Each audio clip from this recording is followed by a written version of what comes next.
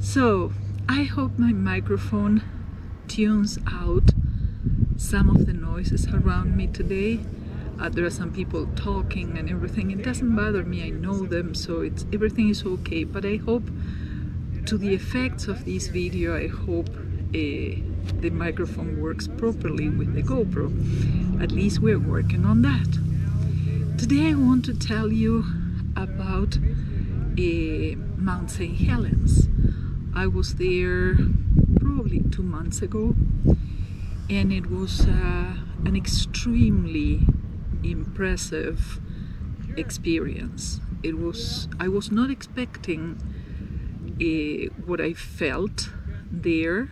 I, I thought it was going to be just like a mountain. You know, you go, you say, "Oh, how, what what a beautiful mountain," and that's it. No, it it felt totally different. Mount St. Helen erupted in May, I think it was May of 1980. And when you put that in perspective, think of what you were doing. I I know that my daughter, she was one and a half years old, so I was making something tasty for her in my kitchen probably.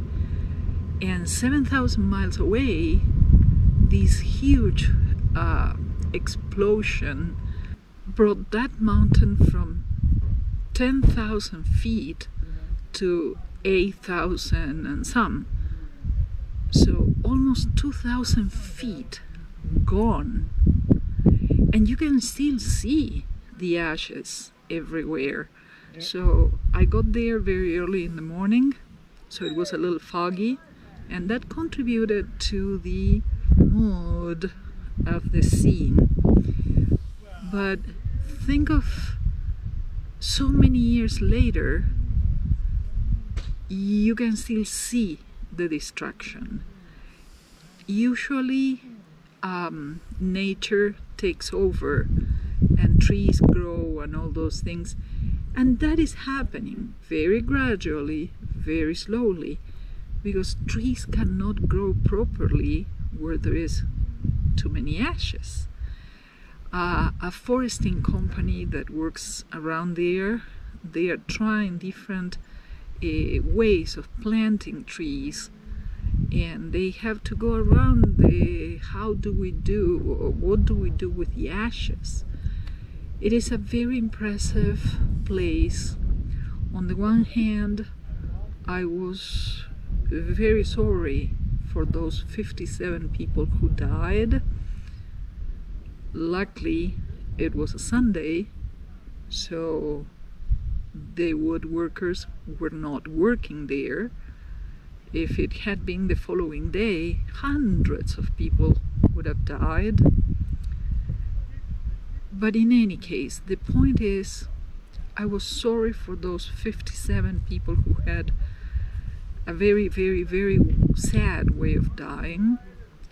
And the other half, the other half of my heart was in awe of the magnificence of that landscape. It's like being on the moon. It's something weird. And it reminds us that we are nothing, that the earth has so much power. It really it, with a teeny little explosion, it can change our habitat for years, for decades. So I hope you like the images. I loved going there. I strongly recommend you take that detour if you're nearby because it is really worth it. And I hope you enjoy this video.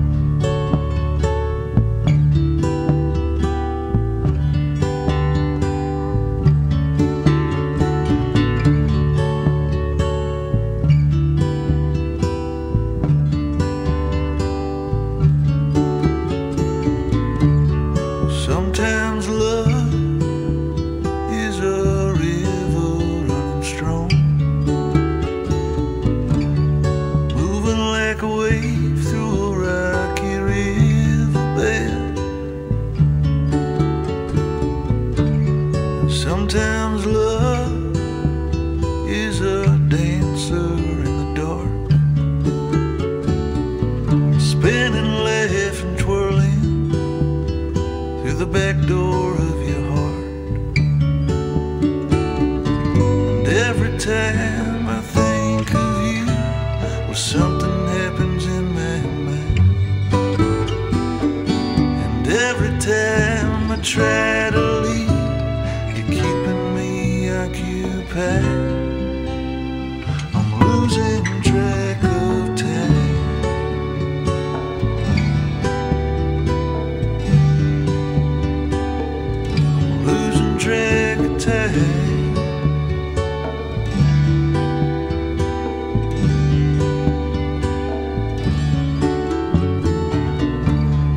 Sometimes love is a thought we held too long.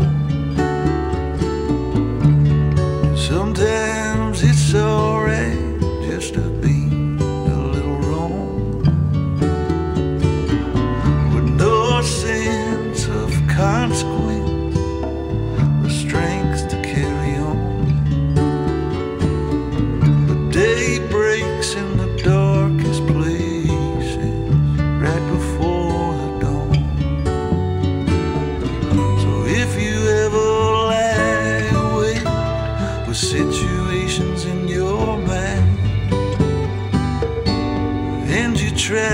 to sleep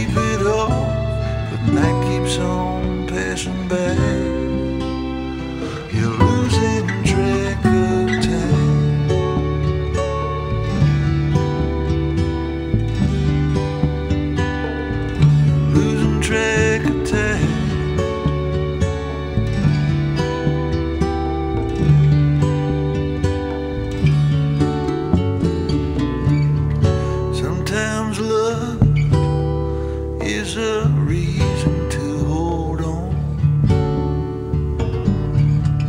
Blowing like a hurricane right inside of me and you. No blues or avenues take away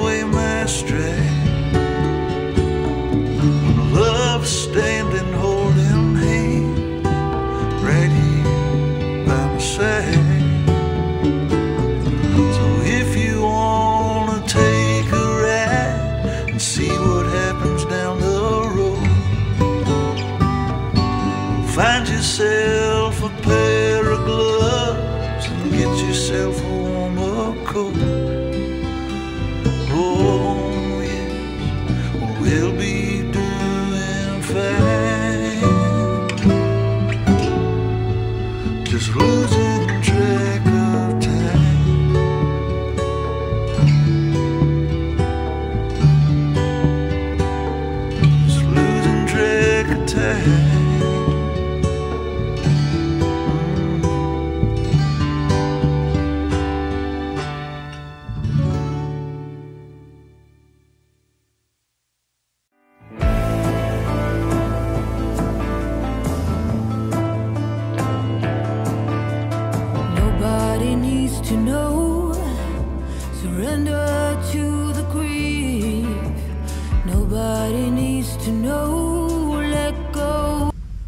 I hope you think the same thing I did.